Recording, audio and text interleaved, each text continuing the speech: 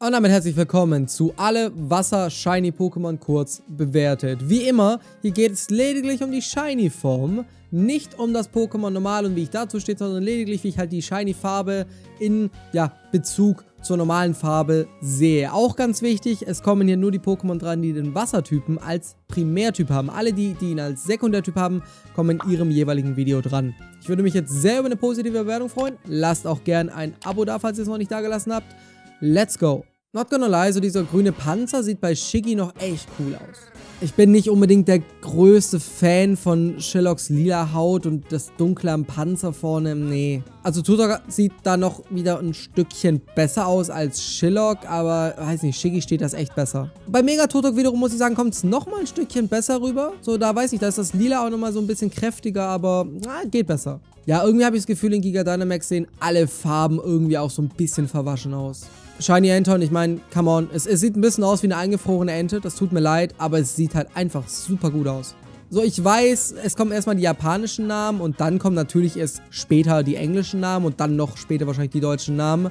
Allerdings muss ich sagen, so das Ding heißt halt im Englischen Golduck und das wäre schon lustig gewesen, wenn Entoron Gold gewesen wäre. Vor allem, es hätte sogar ein bisschen Sinn ergeben, weil Enton ja gelb ist und Enton wird dann blau. Das heißt, die wechseln einfach ein bisschen die Farben. Das heißt, wir hätten zumindest ein gelbes Entoron kriegen können.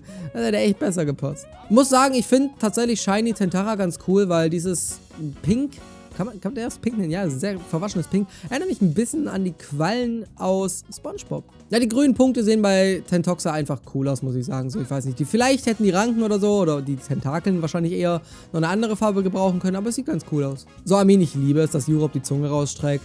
Aber das ist halt nicht mal so ein schönes Gold. Ich weiß, wer sich jetzt ganz genau freut, dass Yugon keine neuen bekommen hat. Aber ja, es, die Shiny-Form ist halt echt nicht so... Ich weiß nicht, diese Orange, Bronze, was, was, was ist das für eine Farbe? So, also es sieht, es sieht cool aus. Ich weiß nicht, es steht. Wahrscheinlich kann es sein, dass es das vielleicht sogar wirklich in der echten Welt gibt, so diese Muschelform. Natürlich, meine Muscheln gibt es in allen Farben oder so, aber es sieht cool aus. Ich muss sagen, ich glaube, ich würde Austausch noch cooler finden, wenn es die gleiche Farbe wie Muschas hätte. Aber I mean, ist es fein. Ja, dieses grün, gelb, goldliche sieht bei Krabi nicht so nice aus. Kingler sieht irgendwie ein bisschen schimmlig aus. Hat aber was. Tatsächlich muss ich wenigstens sagen, bei Giga Dynamax Kingler sieht das Grün wenigstens nicht so verwaschen aus, sondern eher noch wie bei Kingler. Das, das geht fit. Ja, nee, ist halt nur ein bisschen anders. So, I mean, man merkt, finde ich persönlich, den Unterschied noch ein bisschen mehr bei Gold King, aber hätte man auch mehr machen können. So, Sterndu ist halt so, ja, weiß nicht, ein Durchschnitt. Okay, ich weiß, eigentlich hätte Starmie wahrscheinlich ein paar mehr Punkte verdient, aber das 3D-Model hat mir echt Starmie generell kaputt gemacht, was die Farbe angeht. Yo, es ist ein goldenes Carpador. Es ist iconic, kann man nichts anderes sagen. Es sieht aber auch gut aus. Gleiches mit Garados, natürlich so diese Rot-Blau-Swaps, die kommen häufiger vor. Muss allerdings wirklich sagen, Garados war so ein bisschen, glaube ich, war es nicht sogar der Erste, der das so ein bisschen so richtig krass gebracht hat. Vor allem, weil, ja, Gen 2, rotes Garados, Mainstream, man wissen es alle. Aber sieht gut aus. Gleiches halt für Mega Garados. Ich meine, ist ja basically nicht so ein Riesenunterschied. Dieses Lila bei Lapras sieht echt nicht bad aus. Auch in der Giga Dynamax Form finde ich das nicht bad. Ich weiß nicht, aber viele Pokémon sehen in lila so einfach cool aus. Oder ist das eher so pink, pink-lila? Ich, ich bin ein Mann, tut mir leid. Ich kann Farben nicht so sehen wie wahrscheinlich die weiblichen Zuschauer hier. Was ich bei Kanimani echt mag, dieses Grün passt noch richtig zu dem Grün eines Krokodils. So bei Tyrakok sieht schon ein bisschen heller aus und dementsprechend nicht mehr ganz so nice. Bei Imperator sieht es an sich ja noch cool aus, aber wäre das Grün vielleicht noch ein bisschen mehr Alligator-mäßig, dann wird es echt viel besser aussehen. Ja, Lampi ist jetzt nichts Besonderes. So, I mean, ich mag es, wie gesagt, wenn Pokémon so lila werden, weil ich finde es eine coole Farbe. Aber auch bei Lanton haben sie echt im 3D-Model die Farbe allgemein verkackt. Ich bin sehr froh, dass sie Meryl in der Shiny-Farbe nicht gelb gemacht haben, weil, come on, sonst würden die Leute wirklich glauben, Meryl sei ein Pikachu-Klon.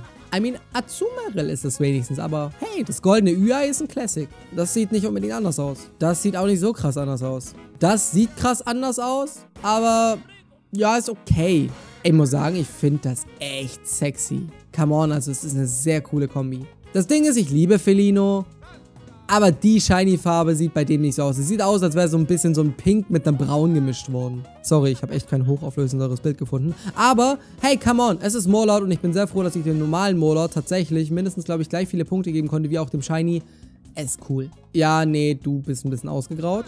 Lamo ist wiederum cool. So vielleicht noch der Muschel eine andere Farbe, aber sonst ist cool. Sei froh, dass ich jetzt dich nicht bewerte als Pokémon, sondern nur deine Farbe. Weil Farbe ist cool. Ich meine, halt die gleiche wie bei Lamos. Aber ja. So, Lasho King sieht ein bisschen aus, glaube ich, als wäre in der Sonne gewesen. Ja, come on. Ich war. Jungs, Mädels, ihr wisst, ich mag pinke Pokémon. So, sorry.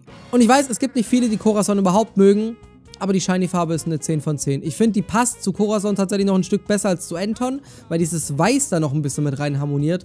Corazon ist super sexy. Hätte man Remorite Gold gemacht, dann wäre es so eine goldene Pistole gewesen. Ich glaube, das hätte was gehabt. So ein Octillery, ah, das sah in Rot echt besser aus. Ich muss sagen, ich mag dieses Grünliche bei Sepa echt. Und ich finde es super schade, dass man das bei Semon weggenommen hat. Und auch wenn ich bei Sedra King auch natürlich wieder dieses Pink-Lila-mäßige mag, das Grün von Sepa hätte nochmal besser ausgehen und dann hätte es, glaube ich, einen neuen bekommen. Das Ding ist, ich muss halt sagen, ich stehe halt auf blaue Haare. I guess sorry, not sorry.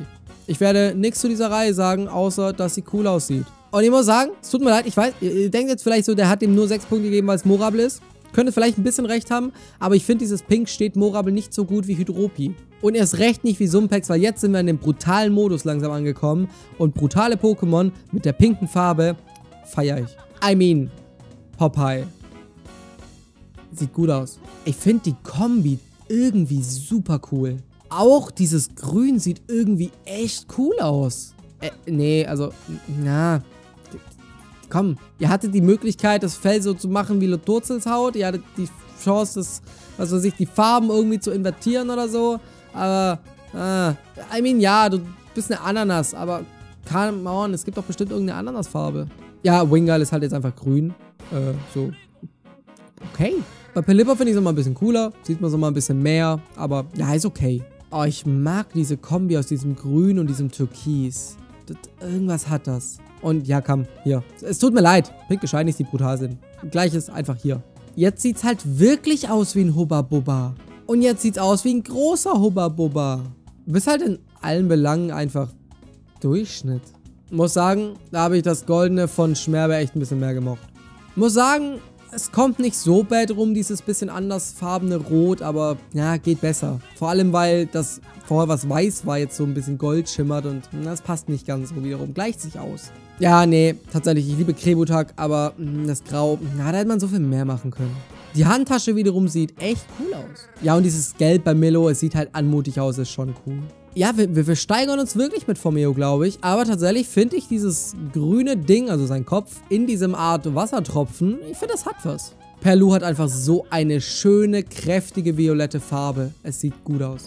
Hätte man Alabis nicht vielleicht einfach die Farben von Saganabis geben sollen? Und dann hätte man Saganabis einfach die Farben von Alabis geben können? Das Türkis kommt bei dem Ding nicht so gut. So weiß nicht. Hätte man das nicht eher komplett ausgrauen können? Das hätte, glaube ich, zu so einem antiken Pokémon so ein bisschen eher gepasst. Dass ein Libiskus mal sieben Punkte bekommt, Dafür musste man das schon Gold machen.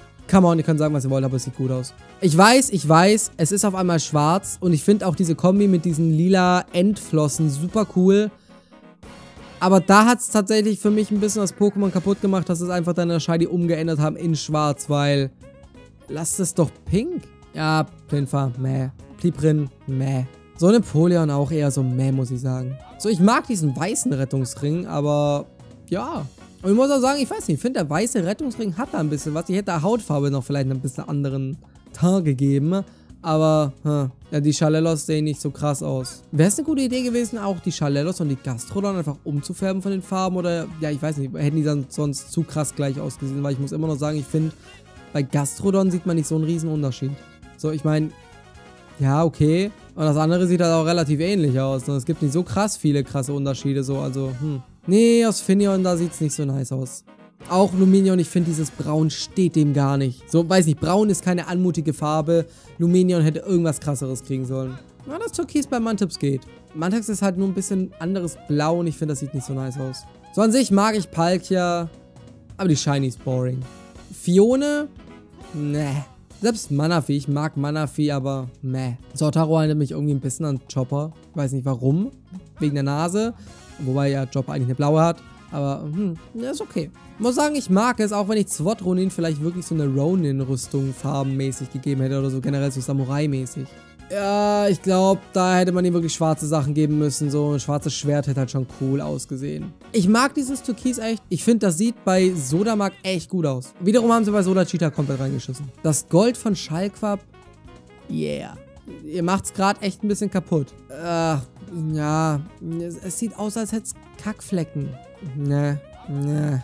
Galapafloss ist cute und die Farbe so ein bisschen heller zu drehen, so in dieses Türkise, finde ich auch eine gute Idee, aber da hätte man, glaube ich, noch ein bisschen mehr machen können. Ja, nee, weiß nicht, bei Caripas eher meh. Das ist halt legit kein hässliches Entlein. Ich finde den Schwan da nicht unbedingt hübscher. Hm, ah, don't know. Ist nicht meine Farbe. Das ist halt schon eher meine Farbe, muss ich sagen. Wiederum muss ich sagen, das sieht so gut aus bei Apokalyp hier. Und auch beim männlichen. Männlich und weiblich einfach. Die sehen so viel besser aus als ihre Vorentwicklungen. Respekt für diesen Lidschatten.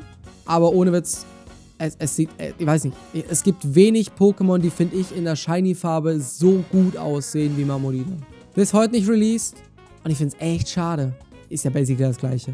Ich meine, dieses Weiß bei Froxy, ne. Gleiches für Amphizzle. Ja gut, können wir leichter packen. Sorry, tut mir leid. Gleiches für Ashgren. Sorry, es muss sein. You know, ein roter Scampi, das ist halt schon cool. Und Wummer kriegt mal wieder eine 10, weil nicht nur finde ich diese Kombi aus diesem, generell aus dieser roten Schale und diesen blauen Schalenenden sieht sehr gut aus, sondern es hat halt auch die Bedeutung, weil Hummer halt rot werden, wenn man sie kocht oder so. Das, das ist halt schon cool. Ja, Poplio. Hm. Marikek finde ich da noch schlimmer. I mean, es hat die Haare schön, aber okay. Bin kein Sardinen-Fan. Auch wenn du Big Boy bist, ne. Wiederum Araquanid sieht echt cool aus. So auch Aranestro, diese lila Beine stehen diesem Ding einfach. I mean, jetzt ist die Seegurke, don't know, gurkenfarbig. Knirfisch sieht echt cool aus. So, das ist so eine unerwartet. Ich hätte die Shiny-Farbe nicht erwartet, aber sie hat sie und ich finde es cool. Ja, come on. Also ich muss sagen, es gibt Pokémon, da sieht das Schwarz tatsächlich nicht so nice aus. Da freuen wir uns drauf, wenn wir wahrscheinlich dann zu den Elektro-Pokémon kommen. Aber Kime steht's. Wiederum Memeon eher nicht so. Fleckleon, äh, I mean, das Weiß kommt tatsächlich ziemlich cool, was dann auch so eine Art bisschen Butler-mäßig hat oder so. Ja, und das Problem halt einfach ist, ich sehe die Farben nicht. Das ist so hoch. Kamiab super cute und ich finde, dieser Grünton sieht einfach so gut aus. Ey, dieser Grünton sieht immer noch nice aus. Nicht so geil wie bei Kamiabs, aber trotzdem nice. Auch in der Giga Dynamax Form sieht es noch cool aus, aber ich finde nicht mehr so cool in... Da sieht bei der Normalform besser aus. Ja, hm, nee. I mean, ich liebe den Propellerfisch, aber die Shiny-Farbe ist echt langweilig.